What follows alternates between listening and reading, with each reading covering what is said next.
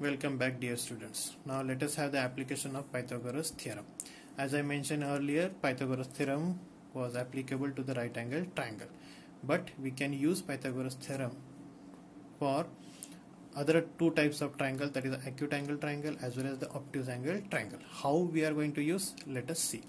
Now in triangle ABC, angle C is an acute angle and segment AD perpendicular to segment BC okay. So this ABC is the acute angle triangle at angle C. Okay. Then AD perpendicular drawn to BC so if suppose the triangle ABC is a right angle triangle at angle C. Suppose huh, a triangle ABC is a right angle at C. Then AB will be hypotenuse. So AB square is equal to AC square plus BC square. See here but this is not a right angle triangle. So other part is added that is minus 2bc into dc 2bc into dc okay this is the additional part how we are going to see it. Let us check. Now you know that the side opposite to the angle are mentioned with the vertex. So suppose the side opposite to angle c is ab which is mentioned by c. Okay opposite to b is b and opposite to a is a. But here it is bifurcated. Now dc we have taken x so this will be a minus x. Let ad be equal to p. This is all we have taken in consideration. So ab is equal to c ac is equal to b bc is equal to a and ad is equal to p. So dc is equal to x therefore bd is equal to a minus x. This total is a if you want I can show you like this. This is A. Hmm.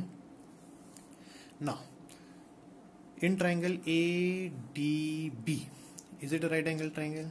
Correct. It is a right angle triangle which is hypotenuse AB so here in triangle ADB by Pythagoras theorem c square that is this one. C square is equal to a minus x square plus p square. So what you are going to write here p square. Is it right? Good. Now square of a a minus x. So a minus x the a square minus 2ax plus x square and this p square as it is. So this is equation number one. Now first we have used pythagoras. Again use pythagoras for this. That is in triangle adc by pythagoras theorem what you are going to get? Now again which is hypotenuse? AC that is b square. B square is equal to p square plus x square. So here you are going to write p square plus x square. Correct? So box it now this we want the value of p square. So take this x square to the LHS so it is going to become therefore p square is equal to b square minus x square correct so equation number 2 this p square value we are going to substitute in equation number 1 so here c square is equal to a square minus 2ax plus x square plus p square is nothing but b square minus x square. Correct? So now here minus x square plus x square will get cancelled. So what is remaining? a square plus b square minus 2ax. So this is c square. But we are not interested in c, a, b and all. What is c? c represents what? ab. So ab square. a is bc square. b is ac square is minus 2a. 2a means again BC into DC. Hence proved. So this is nothing but we have used Pythagoras theorem directly but not for the right angle triangle but for the acute angle triangle. Okay. So if it is so, you will get in a exam then AB square is equal to BC square plus 2AC square minus 2BC into DC. Then you have to draw this type of diagram and use Pythagoras theorem twice and get the proof. This type of proof may come for 3 marks in your exam. Or now if you see here 4 boxes are there may come for 2 marks as an activity also. Okay? So if it is it will come in as activity then just solve it. Don't do extra work okay? Thank you. Welcome back. Now the second part. First part we have seen the acute angle triangle. There we have seen that ab square is equal to bc square plus ac square minus 2bc into cd now here obtuse angle triangle at angle c. Here this is angle c which is obtuse angle. Okay? And then we have drawn a perpendicular AD to the BC extended. Okay? This is called extended part. Okay so the side opposite to angle B is B opposite to C is C and opposite to A is A. Now let DC is equal to X. So BD will be how much? BD will be A plus X. Okay? So that we have mentioned here segment AD perpendicular to segment BC AD is equal to P. AB is equal to C. BC is equal to A. AC is equal to B. DC is equal to X and BD is equal to A plus X. I hope clear to you all. Now triangle ADB right angle triangle. Correct? So use Pythagoras theorem. What you are going to get by the Pythagoras theorem?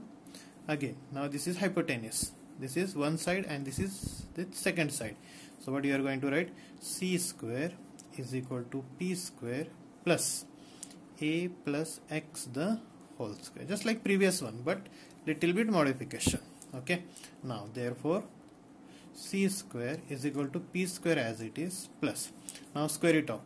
A square plus 2ax plus x square. Correct? This is just like a plus b the whole square. A square plus 2ab plus b square. Okay so suppose this is equation number one. Now in triangle ADC okay so again you have to write in triangle ADC what again this is a right angle triangle and AC is the hypotenuse. So what you are going to get? B square is equal to p square plus x square. Now we are interested in p square. So let us take it out so p square is equal to this x square. You can take it to the LHS that will become b square minus x square. Okay? See question number 2 so this p square value we are going to substitute here.